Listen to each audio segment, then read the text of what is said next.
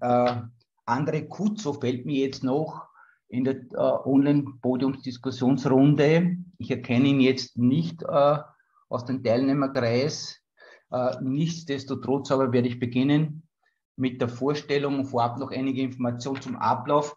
Wie gesagt, mein Name ist Wolfgang Hammerer, ich bin der WDF-Bundesgeschäftsführer und ersetze heute ganz kurzfristig unseren Profi-Moderator Maximilian Schwinghammer. Er hat leider in der Früh Covid sozusagen äh, äh, bekommen bzw. gespürt und ist jetzt außer Gefecht. Seine Stimme ist nicht mehr so gut, also musste ich das kurz, kurzfristig übernehmen. Nichtsdestotrotz freue ich mich, dass so viele Teilnehmer hier sich heute Zeit genommen haben am Freitagnachmittag. Ist nicht selbstverständlich. Es kommen immer mehr rein. Ähm, ich beginne jetzt schon vorab äh, ein paar Grundinformationen. Die Diskussion, das haben Sie gesehen, wird aufgezeichnet. Sie sind auch einverstanden. Sie haben das auch bestätigt. Danke dafür. Bitte auch alle den Ton ausschalten, damit wir hier auch in der Runde, in der eingeladenen Runde auch, auch untereinander diskutieren können. Selbstverständlich können Sie Chat-Anfragen stellen, die werde ich persönlich sammeln, hier und dann gegebenenfalls in die Diskussion einbauen, damit wir hier wirklich einen konzentrierten und geregelten Diskussionsverlauf haben und dieser auch gewährleistet ist. Ja, ich möchte auch noch erwähnen, äh, diese WTF-Aktion richtet sich nicht gegen Russland oder das Russ russische Volk, sondern soll der akuten Not vor Ort entgegenwirken. Das wollte ich nun mal auch äh, ganz klar zum Ausdruck bringen. Am Beginn, liebe Teilnehmer und Teilnehmerinnen, darf ich gleich mal äh, das Podium, das Online-Podium vorstellen. Äh, am Beginn äh, herzlich willkommen Andreas Zakustelski in seinem Brotberuf VBV, Generaldirektor der VBV-Gruppe und natürlich auch unser äh, WDF-Bundesvorsitzender. Danke, Andreas, dass du dir Zeit genommen hast. Freitagnachmittag, wie gesagt, herzlichen Dank und auch so kurzfristig. Äh, des Weiteren darf ich ganz herzlich begrüßen die Petra Traxel, äh, äh, Geschäftsführerin AMS Wien. Wir haben uns ja vor ein paar Tagen getroffen und da hat es mir schon wirklich sehr interessante und beeindruckende Informationen gegeben, dass, was alles auch auf uns zukommt, was das heißt, diesen zu erwartenden äh, Flüchtlingsstrom zu, zu managen hinsichtlich den Arbeitsmarkt sehr interessant. Da werden wir auch einiges von der Frau Draxel hören. Des Weiteren äh, André Kutzo, jetzt weiß ich nicht, ob er schon mit, ob er schon jetzt, ja, er ist schon hier. Dankeschön, herzlich willkommen. Auch hier habe ich das in der Einladung bereits kurz äh, erwähnt und ich bitte ihm dann auch vorzustellen, was, was sozusagen äh, tatsächlich vor Ort passiert. Er kann hier sicherlich einiges berichten, Interessantes. Ja, Roman Deichert, äh, ein, ein, ein, ein langjähriges Beiratsmitglied des WDF und verantwortlich, Otis international. Er, Otis ist auch ähm, in der Ukraine und auch in Russland tätig. Äh, also auch diese beiden Aspekte und Sichtweisen hochinteressant, äh, lieber Roman. Und äh, ja, ich würde fast sagen, ich freue mich auf deine Darstellung, aber natürlich ist das jetzt nicht so äh, zu interpretieren. Aber auf jeden Fall hochinteressant, wie hier auch äh, deine Rolle als Top-Manager international, was sich da sozusagen jetzt bewegt und was zu tun ist, aus beiden Sichtweisen. Und äh, Stefan Kotenek, auch äh, hier ein Impulsgeber für diese Veranstaltung. Er ist Vertriebsleiter äh, der Wiener Starmark, ein, ein, Marktführer im seinem Gebiet. Und er ist darüber hinaus auch noch äh, Young Leaders Forum Bundesvorsitzender der, und er vertritt heute sozusagen äh, die jungen Führungskräfte. Ja, ich möchte gleich bei dir, lieber Andreas, begrüßen und, und, und, und ansprechen und dich bieten um ein Eingangsstatement, wie du das siehst, äh, wie du die aktuelle Lage siehst. Äh, du hast auch einen guten Blick in die Politik hinein und darf dich kurz um dein Statement bitten. Ja, vielen Dank, lieber Wolfgang, auch an dich als Bundesgeschäftsführer für die Organisation der Veranstaltung, aber auch an die Impulsgeber. Ich glaube, für uns als WDF ist es ganz wichtig, dass wir uns immer mit den brennenden Fragen auseinandersetzen, die für unsere Mitglieder, für die Führungskräfte also wesentlich sind. Und wann ist eine Führungskraft besonders gefordert? Natürlich immer in einer Krisensituation. Das ist, glaube ich, wichtig. Da steht man dann sehr oft alleine da als Führungskraft oder vielleicht mit seinem Team, wenn man ein gutes Team hat, auch schön. Und da haben wir uns gedacht, tut es durchaus gut, sich ein bisschen auszutauschen, Erfahrungswerte einzubringen aus unserer Podiumsrunde heraus, aber bestimmt auch über den Chat und für unsere Mitglieder eben da zu sein und vielleicht die ein oder andere Orientierungshilfe zu bieten. Ich würde sagen, eines möchte ich wirklich bewusst voranstellen, ich habe es heute gerade mal überlegt, genau genommen haben wir jetzt in einem kurzen Zeitraum von nicht einmal 15 Jahren drei plus eine Krise um die Ohren gehabt. Warum bloß eine? Ich ziehe die eine vorweg. Das ist nämlich eine, die schon lange da ist, seit Jahrzehnten da ist und in den nächsten Jahren und Jahrzehnten eher noch schwieriger werden wird, nämlich die Klimakrise. Die unterscheidet sich nur von den anderen Krisen dadurch, dass sie nicht heute, hier und jetzt entschieden werden kann oder entschieden werden muss. Deswegen wird sie auch so oft beiseite geschoben. Das ist wirklich ein ganz anderer Typus von Krisen. Ich erwähne es nur ganz bewusst, weil wir als Manager natürlich auch immer langfristig denken müssen. Das ist ein wichtiger Punkt, weil wir auch die Zukunft zu managen haben, auch das Umfeld für unsere Unternehmungen. Darum sollte man das nicht vergessen. Aber ich stelle es mal Reiter als äh, untypische Krise. Die anderen drei Krisen jetzt in diesen letzten konkret 14 Jahren, 2008 die Finanzkrise, dann jetzt erst gar nicht so lange her, 2020 bis aktuell die Pandemie und jetzt, und ich formuliere es bewusst so, die Russland-Krise, weil es allenfalls ja nicht nur um die Ukraine geht, sondern auch Auswirkungen auf viele äh, potenziell weitere Länder im Auge zu behalten. Und das Wichtigste, ich glaube, man kann es schnell zusammenfassen, wie bei all diesen Krisen, aus meiner Sicht für eine Führungskraft Ruhe bewahren. Das sind die drei wichtigsten Dinge. Ruhe bewahren, Ruhe bewahren, Ruhe bewahren. So leicht gesagt, was heißt das eigentlich? Für mich gehört dazu, tatsächlich zu versuchen, selbst die Nerven zu bewahren, weil damit ist auch der zweite Punkt verbunden, dass man nämlich auch Ruhe ausstrahlen muss an die eigene Umgebung, sprich vor allem in Richtung Mitarbeiter. Die Mitarbeiter und Mitarbeiter, wenn das jetzt eine Krise ist, die mit einem eigenen Unternehmen vielleicht gar nichts zu tun hat, sind aber verunsichert und werden immer bei den eigenen Führungskräften Orientierung und Anhalt suchen und wirklich schauen, was macht jetzt meine Führungskraft, wie ist das? Und wenn die Führungskraft, wie man so schön steirisch bei uns sagt, wie ein aufgeschweichtes Händel herumrennt, dann breitet sich das aus und hat natürlich, was die Arbeitsproduktivität betrifft, einen unheimlich negativen Impact. Und vor allem, es hilft an niemandem was. Also insofern Nerven, Ruhe bewahren. Und die Schwester dieser Themen sozusagen ist, und das geht eben auch nur, wenn man Ruhe bewahrt, Übersicht zu bewahren. Damit man nicht in äh, Hektik reinkommt und Kleinigkeiten vielleicht managt und schnell richtet und übersieht, dass vielleicht morgen schon etwas viel Größeres im Zuge dieser Krise daherkommt. Das heißt, Übersicht bewahren. Und das wird natürlich, und da werden wir uns heute sicher noch austauschen, das ist je Branche völlig unterschiedlich. Ich selbst bin ja im Finanzsektor zu Hause.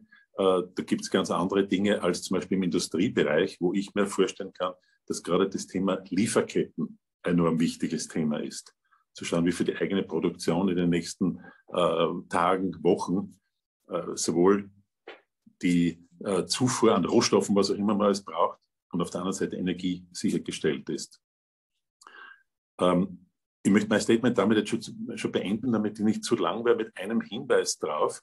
Was ganz interessant ist, wir haben mit dem BIFO jetzt gestern einen Kontakt gehabt ähm, und da sind die Einschätzungen auf das BIP-Wachstum, man sagt immer so schön negatives Wachstum, also BIP-Reduktion, um es beim Namen zu nennen, für Österreich für mich eigentlich überraschend gering. Es ist nicht nichts. Äh, da ist die Aussage, dass für 2022 oder fürs heutige Jahr war ein Wirtschaftswachstum erwartet worden für das gesamte Jahr von 4,25 Prozent. Und man geht jetzt im WIFO davon aus, dass es durch den Krieg abgeschwächt wird auf 3,75, also gerade mal 0,5 Prozent wie gesagt, ist nicht nichts, aber schaut über, überschaubar aus.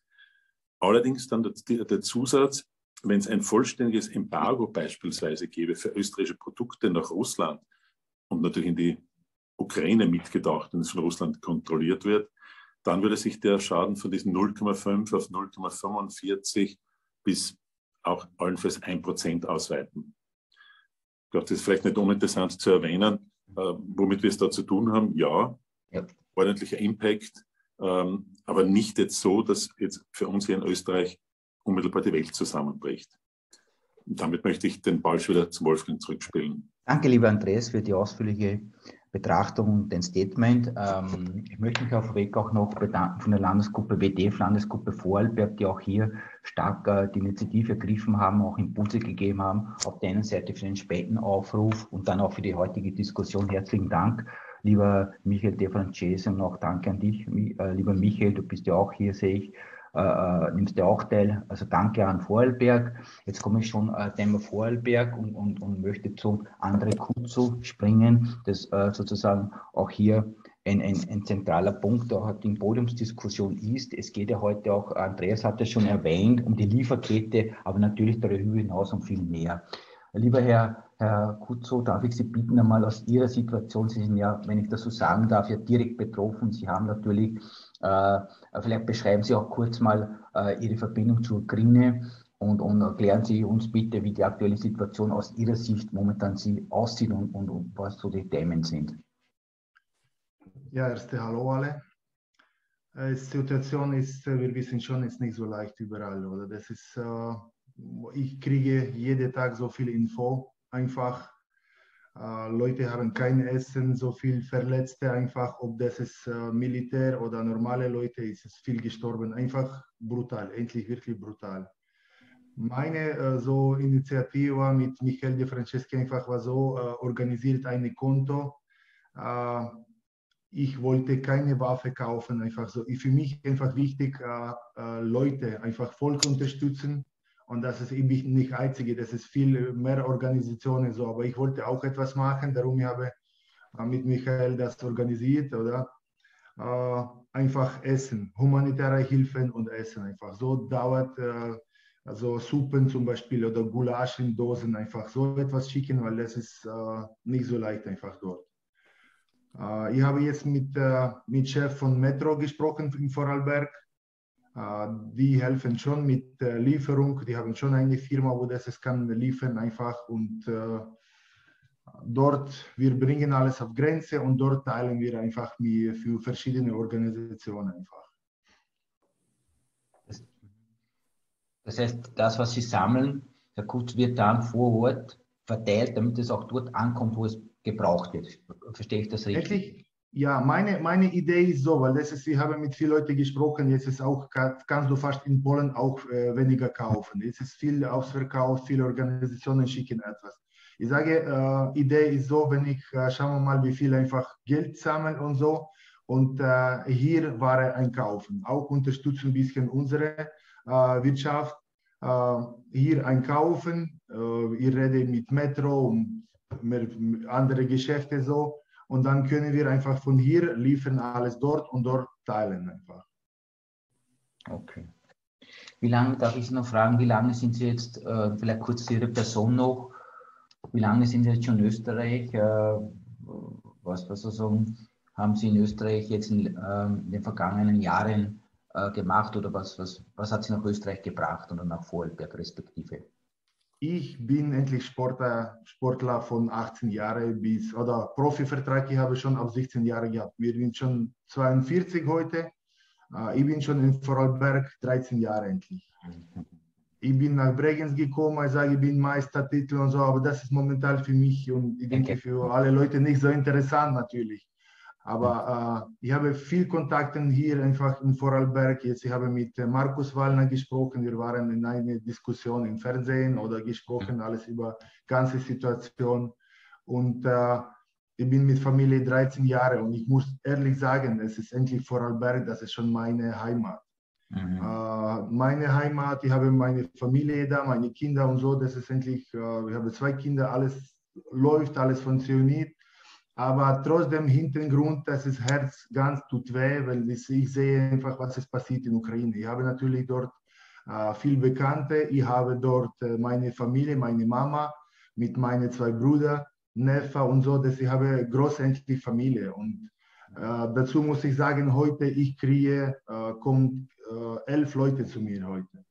Mhm. Ich kriege von Ukraine und ich muss einfach bis Montag, die müssen bei mir leben. Das ab Montag ich, ich äh, gesprochen schon mit Caritas und das weiter. Äh, wir wollen teilen und irgendwo alles organisieren. Ja, außergewöhnliche Zeiten, traurige Zeiten. Ich glaube, wir alle sind tief betroffen. In dem, der man spricht, äh, es hat in der Vergangenheit auch viele Krisen gegeben. Äh, weitere Vergangenheit, wenn ich nur an Bosnien denke, auch, auch auf europäischen Boden quasi.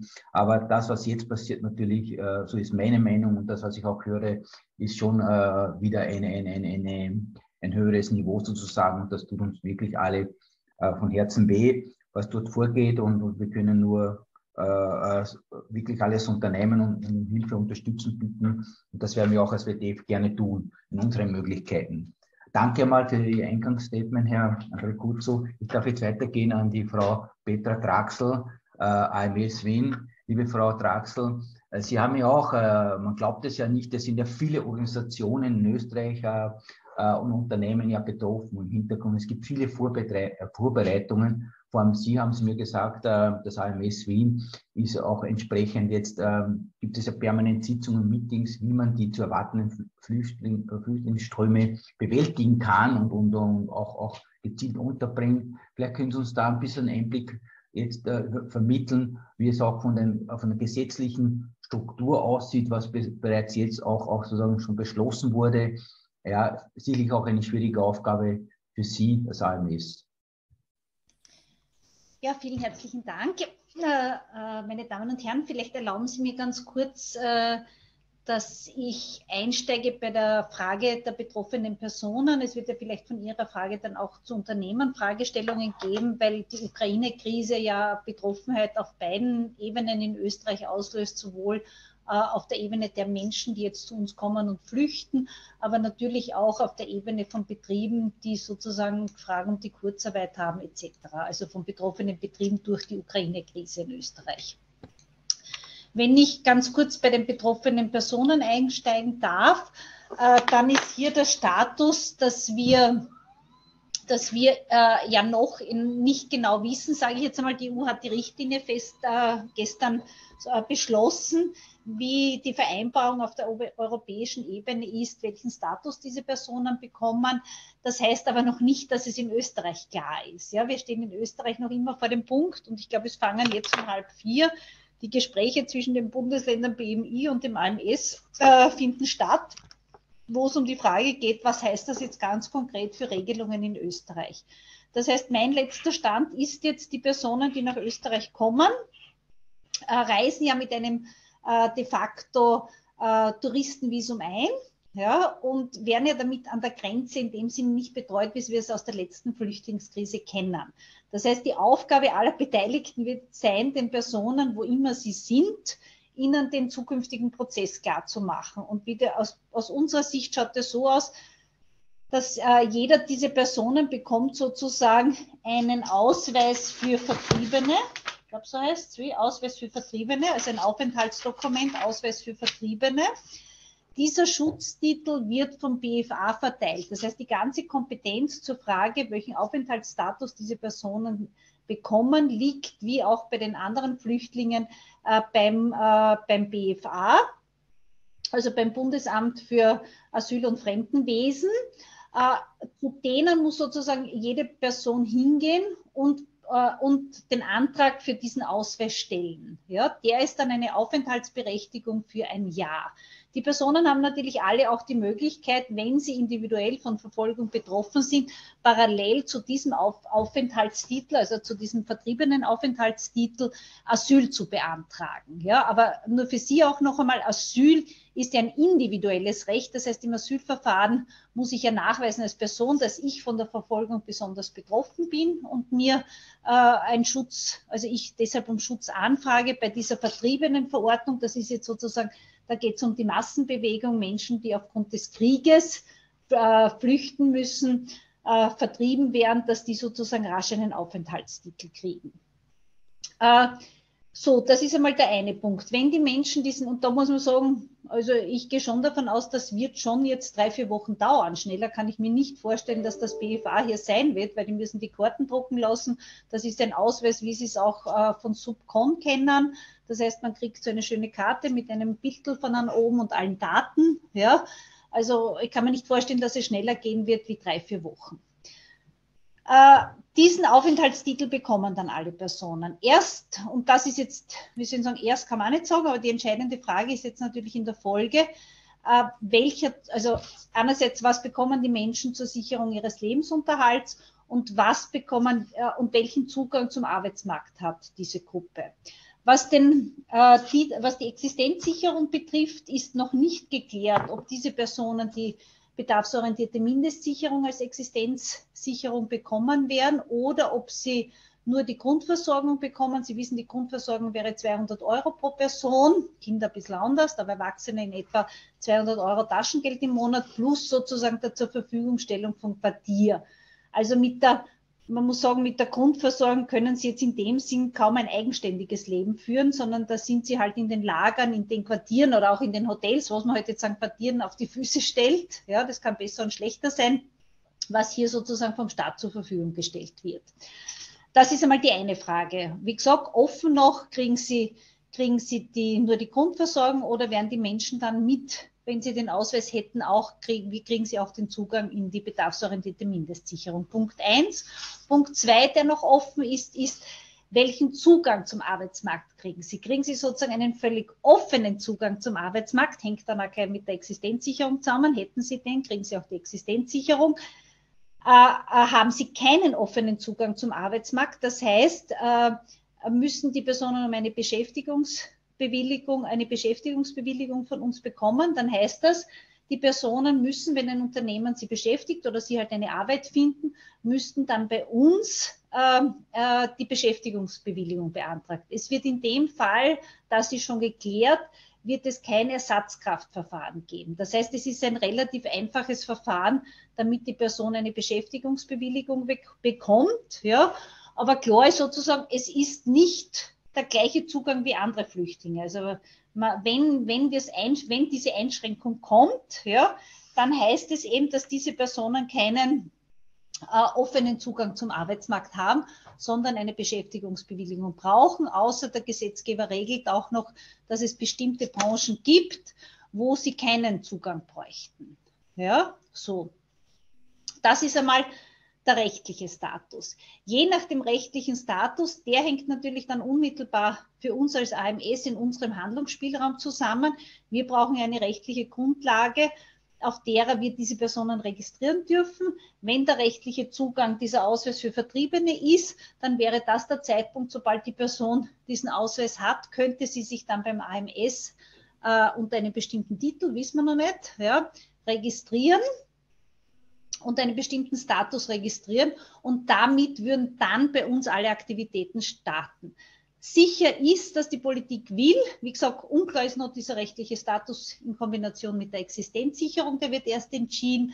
Klar ist aber, dass die Politik dann will, dass wir diese Personen entsprechend bei ihrer Integration in den Arbeitsmarkt unterstützen. Das heißt, unsere Überlegung ist, dass wir dann rasch äh, Beratung für diese Personen anbieten, rasch klären, was können sie, Kompetenzen abklären, schauen, wohin soll es gehen. Ja, um entweder einerseits sie rasch in den Arbeitsmarkt zu integrieren, wenn es möglich ist, beziehungsweise rasch hier die entsprechenden Qualifizierungs-, Deutschkenntnisse etc. anzubieten. Das ist ja, man muss sagen, wer ist die Gruppe, die jetzt im ersten Schritt kommen? Im ersten Schritt kommen mehrheitlich die Frauen mit den Kindern. Das heißt, wir werden hier ganz stark natürlich ein Kinderbetreuungsthema haben. Die Kinder sind umzubringen, man muss die Kinder versorgen, damit die Frauen dann auch dem Arbeitsmarkt zur Verfügung stehen. Klar ist, das sehen wir schon aus den ersten Anfragen, ich glaube, es ist ein hohes Bedürfnis dieser Frauen eigentlich rasch zu arbeiten, weil sie natürlich auch Geld haben wollen müssen, ja, dass sie entsprechend andere versorgen können. Also ein hoher Wunsch, rasch zu arbeiten. Äh, so, das wäre jetzt einmal die rechtliche Seite von den Personen als Einleitung. Wir werden dann eh noch diskutieren.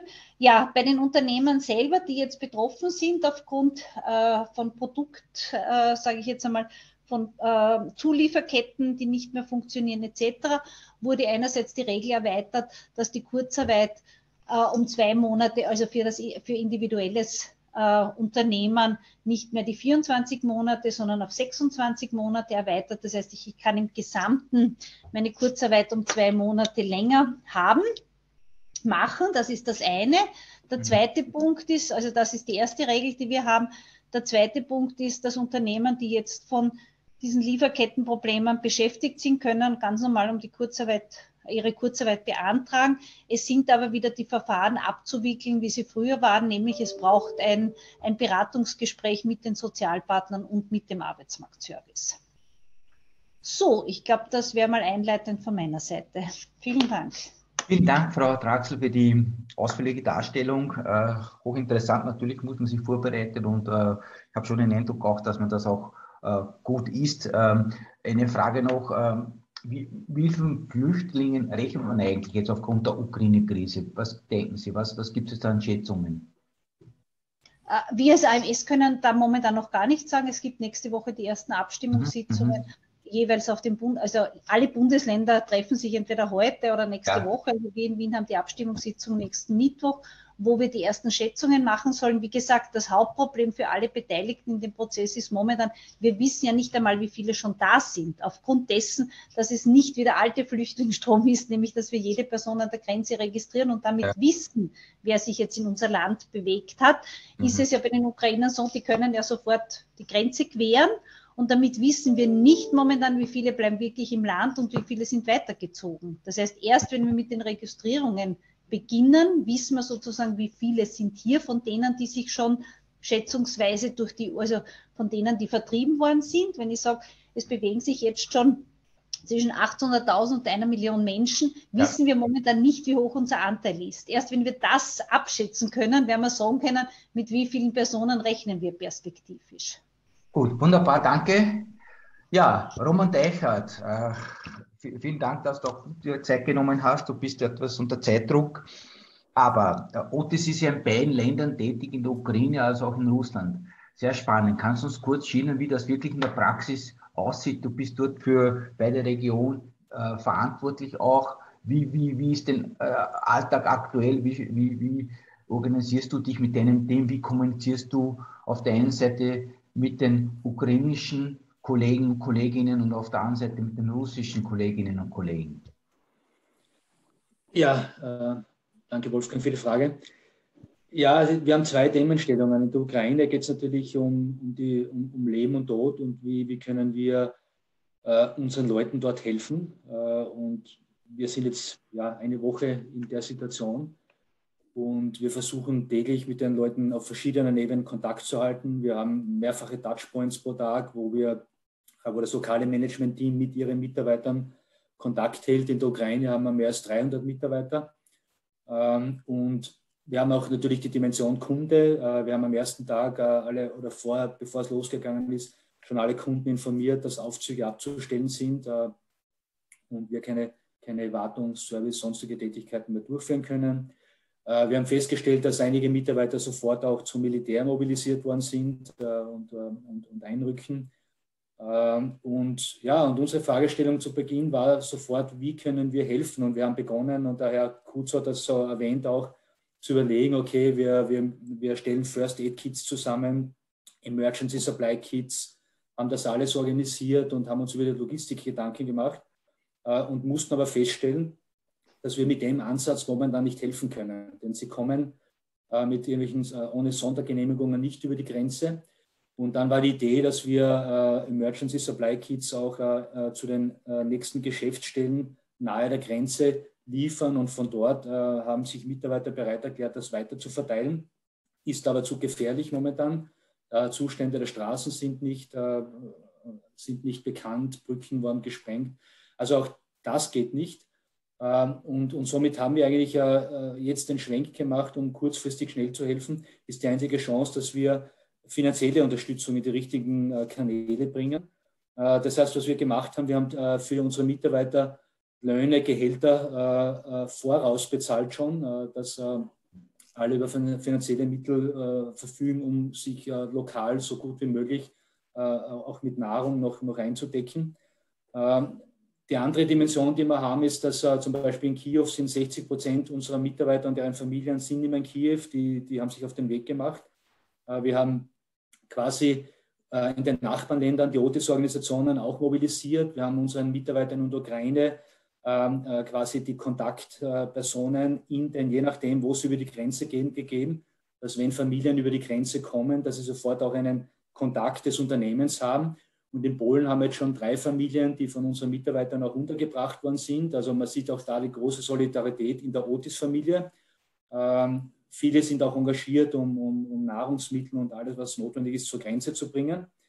Ähm, das ist dieser Teil. Äh, und wir versuchen halt Kontakt zu halten.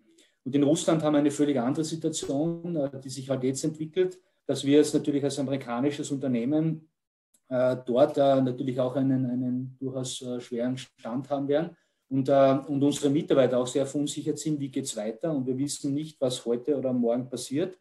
Äh, aber wir haben klar die Botschaft abgegeben. Wir haben dort ca. 3000 Mitarbeiter. Wir haben ein Produktionswerk auch dort und wir haben klar die, die Aussage auch an unsere Mitarbeiter geschickt. Wir versuchen, so gut wie möglich die Business Continuity äh, aufrechtzuerhalten. Äh, Im Lieferwerk, also im, im, Produktionswerk, merken wir, dass die Lieferketten natürlich äh, allmählich wegbröckeln. Was wir tun, ist äh, für diese Komponenten, die nicht mehr geliefert werden oder weil Lieferanten sagen, wir liefern nicht mehr, ähm, die versuchen wir über andere Kanäle zu äh, kriegen, sei es über ähm, chinesische ähm, Lieferanten oder Lieferketten. Das versuchen wir so gut wie möglich. Und äh, weil wir merken, dass unsere Mitarbeiter extrem verunsichert sind äh, und, und nicht wissen, ja, wie es weitergeht. Und, äh, und die Leute müssen dort auch sehr vorsichtig, sehr vorsichtig sein, von der Geschäftsführung weg, äh, was gesagt wird, äh, welche Aktionen gesetzt werden. Also auch eine sehr, sehr schwierige Situation. Und, äh, und überall kommt Emotion hoch. in der Ukraine wo wir merken, wir können nicht so schnell helfen, wie wir das eigentlich wollten kommt natürlich auch ein Druck von den Mitarbeitern, ja, hilft uns die Firma überhaupt, hilft das Unternehmen überhaupt? Und äh, somit wird die Kommunikation extrem wichtig. Und äh, was Andreas gesagt hat, Ruhe und Übersicht, ja, das versuchen wir zu bewahren. Ich merke auch, wir haben auf jeden Tag äh, im Executive, im europäischen Executive Team auch ein Krisenmeeting, wo auch wir merken, untereinander, wo die Emotion sehr, sehr stark ist, ja, wo diskutiert wird, wir müssen schnell agieren. Wir merken aber, dass diese Ansätze, die wir halt in einem im Kontext eines Unternehmens oder im Management-Kontext haben, halt hier nicht funktionieren. Ja? Wir müssen da äh, anders denken und vorgehen und auch akzeptieren, dass es da Organisationen gibt, die viel besser äh, da aufgestellt sind. Und äh, in Russland die Emotion, äh, ja, äh, wie geht es mit uns äh, als Mitarbeiter in Russland weiter? Und da wird halt Kommunikation sehr wichtig und wir merken, dass jedes Wort in der Kommunikation auf die Waagschale gelegt wird. Und man hat sofort Mitarbeiterreaktionen aus anderen Ländern, wenn ein Wort äh, nicht richtig formuliert ist oder die Aussage äh, äh, zu schwach ist. Und, also das ist sehr, man muss schon zugeben, Neuland für uns. Und äh, wir hatten auch gestern einen äh, Krisencall, äh, jeden Tag auch mit dem Geschäftsführer, der dort berichtet, ähm, wie es ihnen geht. wir versuchen jeden Tag Kontakt zu allen Mitarbeitern zu haben, zu schauen, ob alle, so, so wie es klingt, noch am Leben sind und noch erreichbar sind. Äh, wir berichten auch, äh, wenn wir Familien äh, ähm, an der Grenze aufgenommen haben. Und ja, und gestern hat auch unser, unser weltweiter CEO Judy Marx an diesem Call teilgenommen. Das war auch sehr, sehr emotional.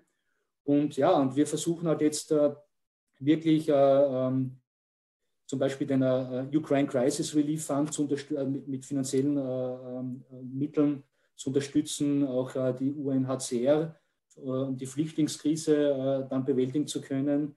Wir haben auch einen ähm, Disaster Relief Fund für Otis-Mitarbeiter eingerichtet. Also wir haben jetzt gemerkt, wir müssen, wir können jetzt momentan nur mit Geld und, und Funds mehr oder weniger unterstützen. Mhm. Und solange es Kampfhandlungen gibt, ist es für uns als Unternehmen nicht möglich, in das Land rein, reinzugehen. Und das macht das Ganze halt sehr schwierig und baut auch diesen Druck auch bei uns im Management auf, dass man auch eine gewisse Hilflosigkeit verspürt, weil man nicht agieren kann, wie man gewohnt ist zu agieren. Also das ist so die, die Situation, äh, die wir ähm, momentan vorfinden. Und da äh, hat Andreas recht. Also unsere Aufgabe ist es auch hier, Ruhe zu bewahren, mhm. die Übersicht zu behalten, so schwierig das auch ist. Also die Informationen, jede Stunde gibt es eine neue Situation. Äh, in Russland kommen immer wieder neue Infos von der Regierung raus, die, die, die wieder noch äh, äh, Schwierigeres für uns erahnen lassen.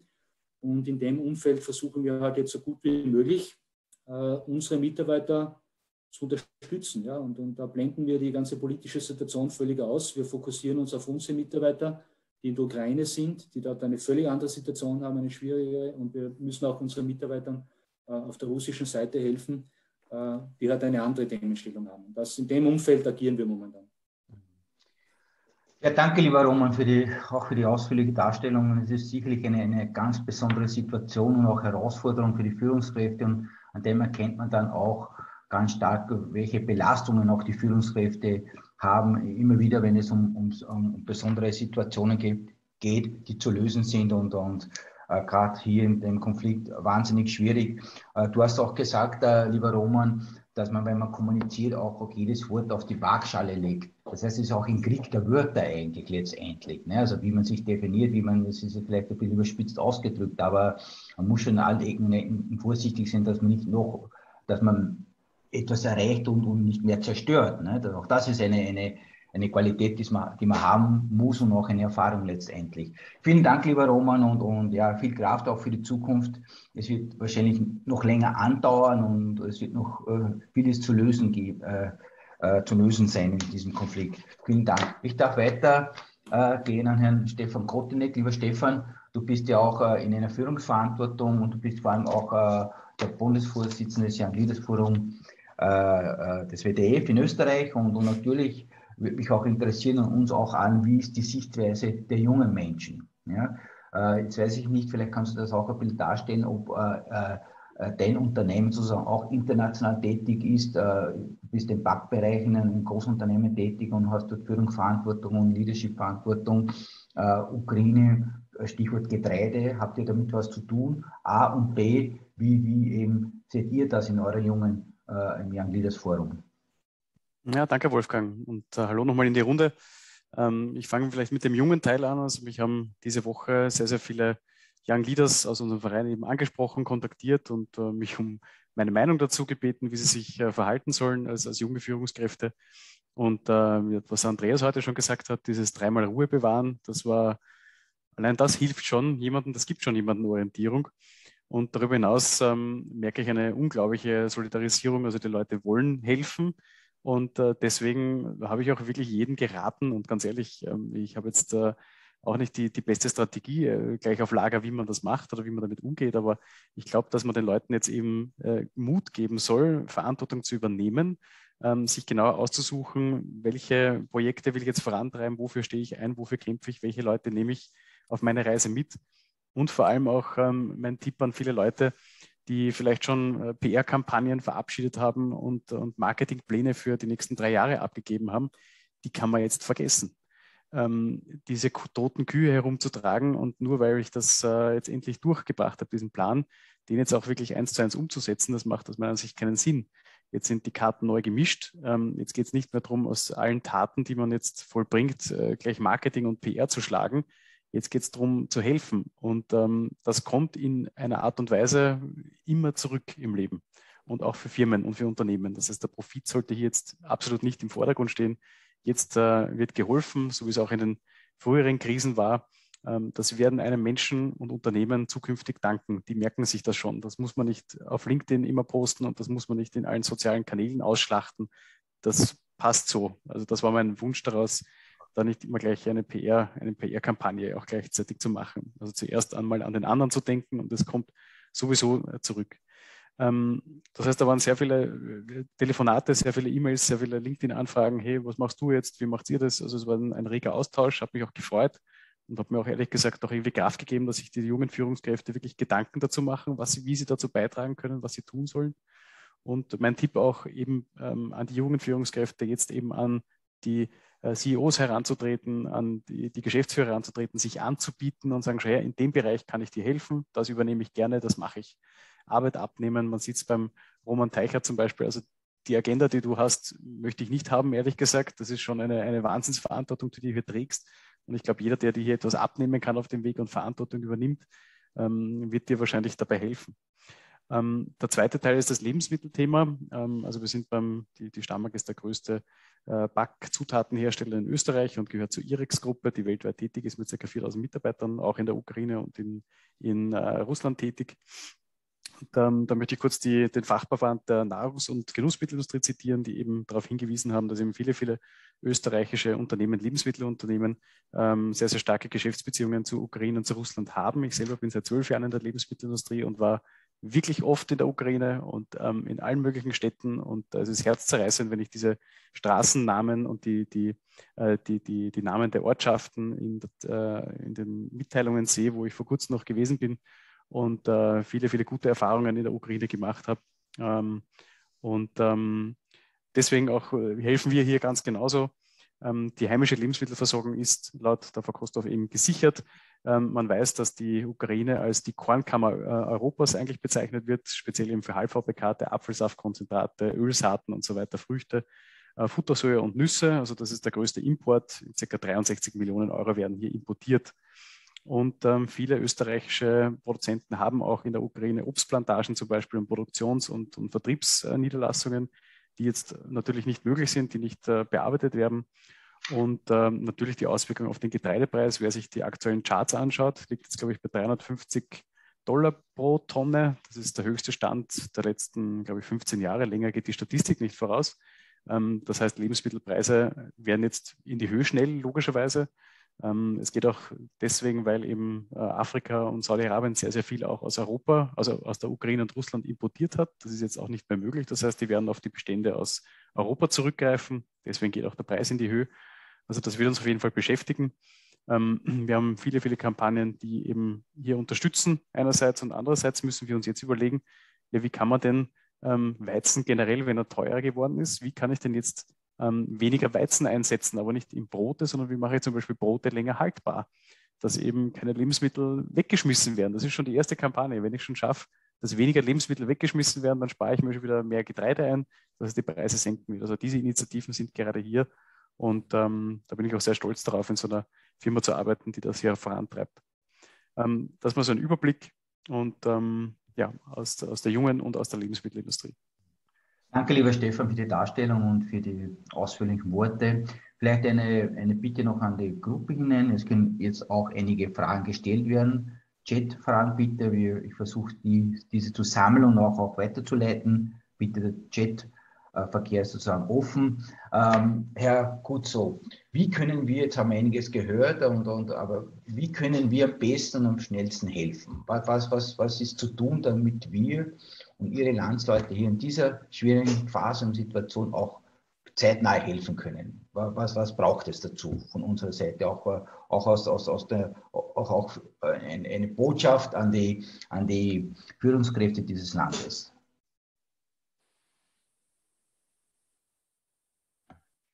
Ja, äh, schwierig sagen. Momentan Geld, wenn wir äh, überweisen Geld dort, das bringt gar nichts einfach, weil das ist alles schon ausverkauft und so. Okay. Meine Meinung, das ist natürlich, ist, äh, ich kann nicht so viel organisieren, aber mache ich alles, was ich kann. Hier einfach kaufen, einkaufen, darum ist, wir, wir helfen ein bisschen unsere Infrastruktur und so ein bisschen äh, äh, hier kaufen und dann solche mhm. Medikamente und Essen einfach Lieferung nach Ukraine. Das mhm. ist, wir brauchen, ich sage, ich habe gekriegt so viel äh, verschiedene, äh, die, die schicken immer Liste, was die brauchen. Aber das ist mhm. fast äh, 74, 75 Prozent, das ist nur militärische Sache. Ich sage dort, ich will nicht so engagieren. Es gibt so viele Organisationen, wo das machen andere Sachen.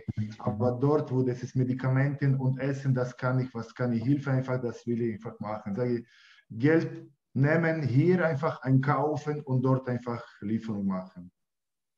Okay, wir werden auch diese Veranstaltung natürlich auch in unserem Leadership äh, äh, platzieren und auch, auch hier wieder entsprechend äh, den Spendenaufruf äh, auch mit, mit, mit hineinnehmen. Ähm, Wolfgang, Wolfgang, vielleicht ja. einen, einen ganz konkreten Punkt, weil ich glaube, der Herr Kutzer macht das ja sehr stark in Vorarlberg, offensichtlich auch mit dem Landeshauptmann und so weiter, den Aufruf, mhm. wo aber doch ein Gutteil unserer Mitglieder auch hier in Wien ist. Äh, möchte nur darauf aufmerksam machen, ob das selbst nur in den Medien mitbekommen, weil das eine sind die Geldspenden und das andere sind aber die Sachspenden. Und da ist offensichtlich eine, eine zentrale äh, wo wirklich auch die Ukrainer, die in Wien leben, das mitorganisieren. Die griechisch-katholische Kirche St. Barbara in der Postgasse in Wien, ja. also Postgasse auch bis 12. Und dort wird wirklich alles gebraucht von, von Schlafsäcken, Nahrung und so weiter. Und die organisieren das offensichtlich eh schon seit fast die ganze Woche. Das ist also wirklich eine Anlaufstelle, wenn das jemand in Anspruch nehmen will. Sehr gut, vielen Dank, Andreas. Ja, habe ich auch gehört, stimmt, ja. Mhm. Gut, äh, Frau Draxel, nochmal zurückzukommen. Ähm, äh, Sie haben ja vor Bosnienkrieg, fällt uns dahin, wir haben auch das besprochen, wie wir uns jetzt sozusagen den Unterschied von damals zu heute äh, herstellen und, und, und äh, sozusagen argumentieren. Das, sehen Sie die Situation, wie wir sie heute haben, schwieriger noch, äh, anspruchsvoller und ähm, ja, wie sehen Sie das, wie ist das bewältigbar jetzt äh, auch, auch seitens der, der Politik und der Regierung? Sehen Sie da jetzt äh, positive Aktionen schon, kennen Sie da schon einen Weg, der wirklich auch kurzfristig helfen kann? Äh, ja, vielen Dank, Herr Hammerer. Äh, vielleicht aus, aus unserer Sicht, ja, uns ist wichtig, äh, dass man sagen muss, bei jeder Flüchtlingsbewegung ja, gibt es spezifische Punkte und das gilt es, glaube ich, gut im Kopf zu haben und nicht alle in einen Topf zu werfen, sage ich jetzt einmal so. Ja. Das heißt, die Krise, die wir jetzt erleben, erinnert uns ja stärker an die Bosnien-Krise wie sozusagen an die arabische Flüchtlingsbewegung. Ja auch von dem, wer kommt und in welcher Konstellation kommen die Menschen und mit welcher Vorbildung. Äh, ich glaube, wir müssen jetzt sehen, dass wir jetzt in einem ersten Schritt eine Flüchtlingskrise in der Ukraine haben von den Frauen und den Kindern, weil ja die Männer sozusagen durch die Mobilmachung ohnehin nicht das Land verlassen dürfen. Und es wird von daher natürlich die Frage sein, und das ist ja ähnlich wie auch im Bosnienkrieg, wie entwickelt sich die Situation in der Ukraine weiter? Gibt es sozusagen ein Friedensszenario? Bin da eher auch, äh, glaube ich, momentan äh, wäre ich überfragt, ob es da äh, ein, einen Ausweg gibt. Ja? Äh, wenn das nicht der Fall ist, muss man ja sagen, Folgen in der nächsten Flüchtlingsphase wird natürlich noch, würde noch einmal eine viel massivere Fluchtbewegung einsetzen und die natürlich dann auch mit den Männern, ja, wenn klar ist, sage ich jetzt mal, dass Russland die Ukraine äh, da für die nächsten Jahre besetzt. Also insofern hängt ja viel von dieser Fragestellung ab, auf welchen Zeitraum muss man sich einstellen. Genau. Das macht es einfacher und schwieriger, sage ich gleichzeitig, äh, weil damit die Frage ist, was ist das Richtige, was man tut. So, der zweite Punkt, lassen Sie mich das noch sagen, der zweite Punkt, der natürlich beschäftigt, ist die Frage, was ist wirklich das Richtige. Also wir reden ja hier von einer Gruppe von Menschen, die, die gut qualifiziert sein werden, ja, die eine gute schulische Ausbildung haben, ja, äh, sage ich, da sind wir ja vergleichbar mit Menschen, ob sie in Polen leben, ob sie in, in, in Tschechien, in der Slowakei leben, ob sie in, in sage ich jetzt einmal, in, in, im ex-jugoslawischen Raum leben, also Serbien, Bosnien. Das heißt, die sind ja bildungsmäßig auf dem Stand. Von daher ist das jetzt für uns, sage ich, perspektivisch für die Integration in den Arbeitsmarkt natürlich eine vereinfachte Situation, weil diese Personen aus unserer Sicht ja viel rascher und einfacher in den Arbeitsmarkt zu integrieren sind. Da geht es ja nicht um Alphabetisierung, sondern da wird es darum gehen, ja, zum Teil Sprachlernen. Wir sehen aber jetzt schon, da sind auch viele Menschen, die ja Sprachen können. Ja. Äh, das heißt, wir gehen davon aus, dass das eine Gruppe ist, die von ihrer, sage ich, von ihrer Grundausbildung und von dem, was sie mitbringen, natürlich viel einfacher in europäische Arbeitsmärkte zu integrieren ist. Das ist, glaube ich, sage ich, in der, in der Dramatik der Situation, aus der Situation des Arbeitsmarktes natürlich eine positive äh, Bilanz, die man ziehen kann. Okay, vielen Dank, vielen Dank. Andreas, ich glaube, du hast noch einen, einen Input, wenn ich das richtig verstehe. Danke, das hat sich schon vorhin überholt. Danke. Herr Kutz, noch eine Frage auch, die, die ich äh, auch hier stellen möchte. Wie, wie sieht das das ukrainische Volk? Sie sind ja sozusagen im direkten Kontakt mit Ihren Landsleuten. Wie, welche Einschätzung gibt es da? Sagt man, okay, das wird jetzt eine, eine längere Phase, äh, äh, Kriegsphase sein oder wie, wie, ist da die Stimmung? Wie ist da der Horizont? Sagt man jetzt, jetzt will man, wenn Kiew eventuell gefallen ist, dann ist der Spuk vorbei oder wie, wie, wie, ja, vielleicht können, uns da, können Sie uns da einiges schildern, wie das vor Ort in der Ukraine sich derzeit abspielt. Ja, Frage klingt so einfach, aber ja, ja, ja, ganz, ganz komplizierte Frage, weil es gibt äh, viel verschiedene Sachen, wo wir wissen noch nicht. Zum Beispiel jetzt ist, äh, wie reagiert Weißrussland. Äh, mhm. Äh, zum mhm. Beispiel bei meiner äh, Stadt ist Lemberg, ist es, ich sage, das ist noch relativ okay, aber äh, von dort immer kommen Raketen, oder? Die wissen, die sagen, wir, wir machen gar nichts aber von Satellit und so, da steht äh, neben Grenze steht auch viel tausend äh, Soldaten einfach und Technik und alles. Und äh, das ist so viel Fragen einfach. Aber äh, ich muss sagen, was ich höre und ich, äh, ich lese russische Seite, ich lese ukrainische Seite, mache Kontakt mit ukrainischen Leuten. Das ist brutal. Jetzt ist der erste Schock ist weg.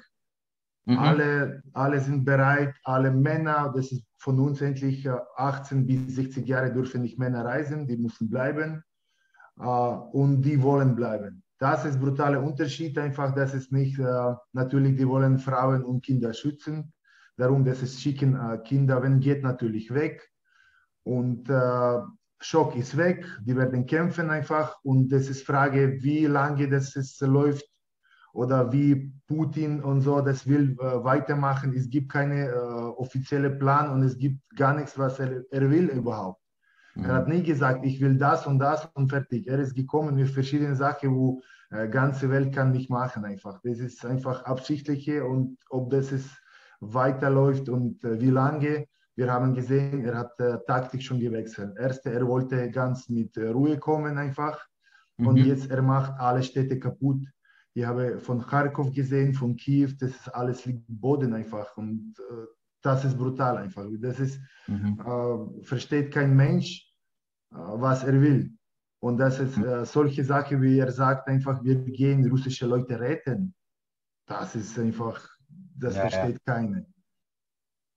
Ja, viel, ja, natürlich, viele, viele Lügen begleiten Putin und, und ähm, äh, die kommen leider nicht in Russland, die Botschaft kommt leider nicht in Russland an und das ist halt ein Thema, das äh, aktuell die Sache auch noch viel schwieriger macht. Ähm, es wird knapp jetzt schon 15 Uhr, äh, das heißt, wir sind gut im, im, Zeitmanagement.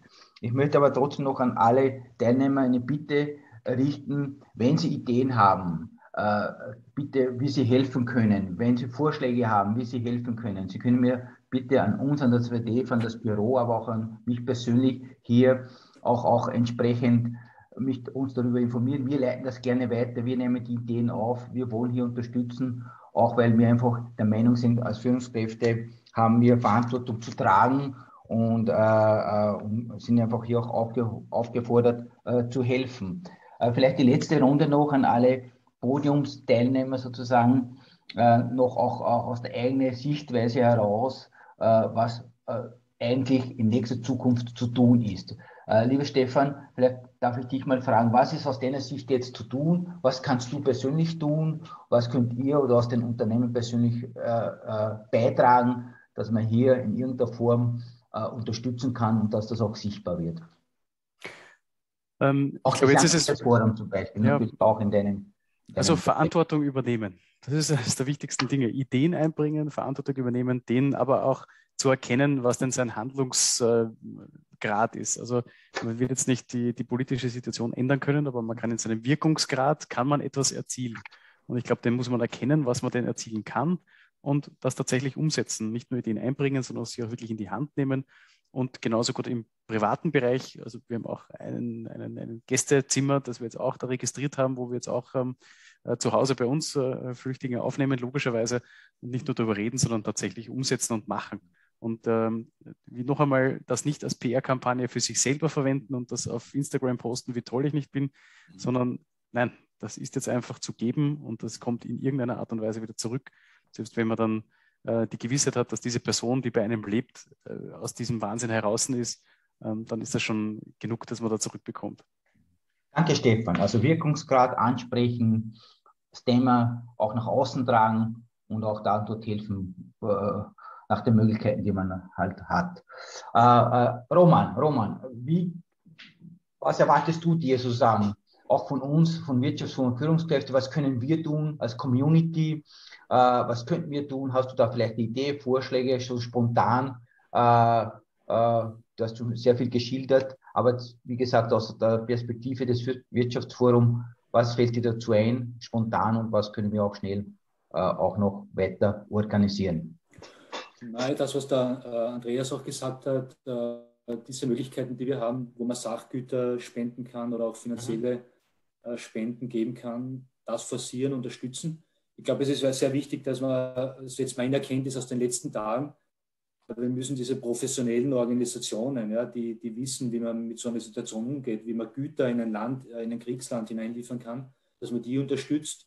Äh, ich glaube, Unterkünfte äh, für Familien, äh, die geflüchtet sind, zur Verfügung stellen, was wir auch versuchen über unsere Otis-Mitarbeiter, dass die, die stellen auch, wie gesagt, Wohnungen und, und Räume äh, zur Verfügung, dass die Flüchtlingsfamilien äh, ähm, ja, unter, Unterkunft finden. Das sind, das sind die Dinge. Und äh, was ich jetzt gelernt habe, ist jeden Tag und wahrscheinlich jetzt in einer Stunde, wenn wir neue Informationen haben, ergeben sich wieder neue An Ansatzpunkte, was wir tun können. Und für uns als Unternehmen ja, den bestmöglichen Weg zu finden, wie wir helfen können. Ja, unseren, den Familien unserer Otis-Mitarbeiter. Äh, das ist jetzt im, im beruflichen Kontext äh, auch mein Anliegen. Und, und als Privatperson kann ich nur schauen, dass ich spende. Ja. Ich, sonst fällt mir also nichts ein. Ja. Also es macht sich schon äh, für mich auch so ein bisschen eine, eine ähm, klingt jetzt vielleicht negativ, aber eine Hilflosigkeit äh, breit, dass man so zuschauen muss, wie der Krieg da vonstatten geht. Ja? Man kann nicht rein, man kann nichts tun. Das war so meine Erkenntnis in den letzten Tagen. Und ich hoffe, dass das äh, sich schnell ändert und dass man wirklich ins Land rein kann und helfen kann. Das, das ist, glaube ich, äh, ja, mhm. mein, mein Anliegen. Mhm. Vielen Dank, lieber Roman, und, und viel Kraft auch noch für die Zukunft. Frau Draxel, welche Möglichkeiten und Erwartungshaltung haben Sie gegenüber den österreichischen Führungskräften? Wie können wir unterstützen? Wie können wir Sie unterstützen in Ihrer Umsetzung? Gibt es da irgendeine Brücke, die wir bauen können? Und was, was, was äh, könnten wir sozusagen äh, auch einbringen?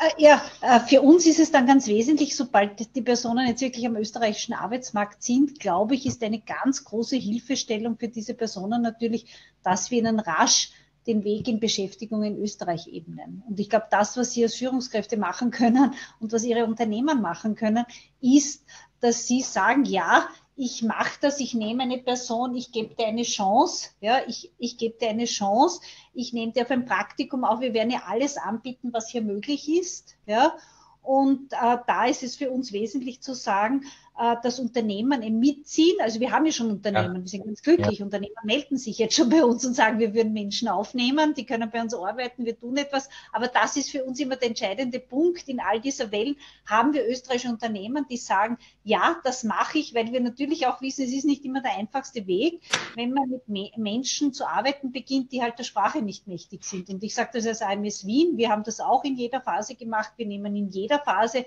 der Flüchtlingsphase auch Menschen auf, ja, die aus diesen Herkunftsstaaten sind, weil wir sie als Beraterinnen auch brauchen, auch damit sie muttersprachlich helfen können. Und von daher weiß ich selber, es ist nicht immer der einfachste Weg, man muss was tun, aber ich glaube, dass es ein richtiger und guter Weg ist, um hier Hilfestellung zu geben. Sowohl für die, die hier sind, aber natürlich auch in der Folge, die brauchen das Geld, weil sie auch ihre Familien etc. erhalten müssen, Geld brauchen. Also wir sehen ja schon jetzt den Gelddruck, der bei uns hier schon spürbar ist von den Betroffenen. Vielen Dank, Frau Peter Draxel. Bevor ich Ihnen Andreas Kostelski das Schlusswort geben möchte, nochmal eine Schlussfrage auch an Herrn Kutzow. Herr Kutzauch, äh, wir haben jetzt äh, einen Spendenaufruf äh, ähm, initiiert und auch diese Podiumsdiskussion mit dem Thema, ja, rede darüber und tue Gutes und, und, und, und damit das Thema auch wirklich präsent bleibt, das ist ganz wichtig. Aber was können wir, ich habe vorhin eingangs diese Frage schon mal gestellt, aber was können wir konkret jetzt tun als Person, als Führungskraft, wenn äh, auch eine Bitte gleichzeitig an Sie, wenn Sie hier irgendwelche Themen haben, bitte auch direkt an uns kommunizieren. Sie sind jetzt ja im engen Kontakt mit Herrn Francese und auch mit Herrn Walser. Also wir können Ihnen hier in unserem Rahmen äh, auch Hilfestellungen zusichern, äh, soweit es für uns möglich ist. Aber ich glaube, das, was wir sehr gut können und was für uns auch, auch äh, so ein Kernthema ist, das Netzwerken, die Kontakte aufbauen. Also das äh, möchte ich Ihnen hier auch zusichern, dass das wir gerne machen, selbstverständlich. Und äh, ja, lieber, lieber De Francese, lieber Michael, bitte einfach auch das immer wie bisher weiterleiten an uns. Ansonsten, wenn Sie noch ein Schlusswort haben, gerne bitte, Herr Kutzo, was Sie an, an eine Botschaft, Abschlussbotschaft noch an uns richten möchten, dann bitte. Ja, ich will komplett bedanken einfach. Wirklich so viele Leute äh, denken auf Ukraine und ganze Welt, das ist nicht nur Österreich. Ich äh, sage, meine Frau ist auf äh, Tschechien äh, ganze Tschechien und so. Ich habe Leute Kontakte, ich habe vor 10 oder 15 Jahren schon nicht verloren, aber das nicht mehr gesprochen. Ich habe so viel äh, Angebote gekriegt und jetzt ist heute zum Beispiel ein eine Freund, wo das ist mit einem Trainer mit mir trainiert, gekommen, hat mir Schlüssel gegeben von einer Wohnung, gesagt, das ist, kannst du benutzen, solange du willst einfach. Ich sage, ich will äh, viele Leute viel machen, das ist ich, natürlich so. Ich will nur viel bedanken, einfach so, äh, Leute denken über Ukraine und äh, wollen Hilfe einfach. Das ist mein großer Respekt für alle einfach. Bitte, vielen Dank. Dankeschön. Lieber Andreas, bitte um den Abschlussstatement. Gerne. In, in aller Kürze vielleicht nur zwei Gedanken. Zum einen, was hier zum Ausdruck kommt. Ich glaube, man muss auch sagen, Solidarität üben ist auch Führungsaufgabe. Das muss uns, ich, bewusst sein. Das ist nicht ein Thema nebenbei, sondern das ist wirklich auch eine zentrale Führungsaufgabe. Und die Dinge sind ja alle angesprochen worden, ob das Geldspenden sind, Sachspenden oder hier schließt sich nochmal der Kreis, auch für viele Mitarbeiterinnen und Mitarbeiter, die eigentlich auch etwas spenden möchten und vielleicht etwas organisieren möchten. Da lässt sich ja auch im Betrieb organisieren, dass man entweder Geldspenden sammelt auf ein Konto, wo wir kennen all diese Dinge, wo man als Betrieb dann das vielleicht verdoppelt etc. Mhm. Danke auch für den Hinweis von Stefan Kotenek. Ich glaube, normalerweise haben wir auch alle als Führungskräfte mit Marketing zu tun, klar, tu Gutes und rede darüber, hier nicht. Ich glaube, das ist ein ganz wichtiger Punkt. Das gebietet fast schon die Pietät und so Dinge. Ähm, da geht es wirklich eher darum, und das ist mein zweiter Gedanke, nachhaltig auch dran zu bleiben. Wir wissen, jede Krise, wenn sie länger dauert, gerät dann wieder ein bisschen aus dem Fokus der Medien. Ja. Und da müssen wir dann dranbleiben. Das ist wirklich der entscheidende Punkt und das möchte ich für uns als Wirtschaftsform der Führungskräfte, das ist auch der Nachhaltigkeit im umfassenden Sinne, also der soziale Aspekt auch drinnen, nach den ESGs der Vereinten Nationen, dass wir das auch mitnehmen. Und Wolfgang Hammerer ist ja auch ein Garant, er denkt da gleich mit, hat schon erwähnt, Leadership und so weiter, dass wir zum Beispiel in jeder der nächsten Ausgaben des Leadership das Thema, dem Thema jedenfalls eine Seite widmen und so weiter und zu Spenden aufrufen. Danke für Ihr Interesse an Sie alle und ich spiele damit nochmal zum Wolfgang Hammerer zurück. Danke auch, wie gesagt, für die Organisation noch einmal. Lieber Andreas, danke noch für dein Abschlussstatement. Herzlichen Dank auch äh, für die Teilnahme an der Diskussion. Liebe Frau Traxel, herzlichen Dank. Wir werden, glaube ich, noch öfter miteinander sprechen und Gutes tun. Wir sind bereit, äh, da hier äh, zu, uns zu engagieren. Herzlichen Dank auch an, an alle, die hier zugehört haben, aufmerksam. Herzlichen Dank an die Tanzgruppe Vorarlberg. Danke, Stefan, dass du auch hier Initiative ergriffen hast. Und lieber Herr Kutzo, bitte einfach, einfach kommunizieren, wir wollen helfen, wir tun das und wir hoffen und wünschen Ihnen natürlich alles Gute und dass das in irgendeiner Form auch wirklich dann letztendlich nicht so schlimm ausfällt. Es ist ein trauriger Anlass, äh, aber ich denke, wir haben den ersten Schritt, den guten ersten Schritt gemacht und ich bitte alle, die hier teilgenommen haben, auch darüber zu nach, nachzudenken, was sie tun können. Wir sind gerne hier bereit, das aufzunehmen, die Gedanken, die Ideen und äh, es irgendwie umzusetzen, soweit es uns möglich ist. Vielen Dank. Ich darf Ihnen alle ein schönes Wochenende wünschen, ähm, ein erfolgreiches, erholsames Wochenende und äh, ja, alles Gute von meiner Seite.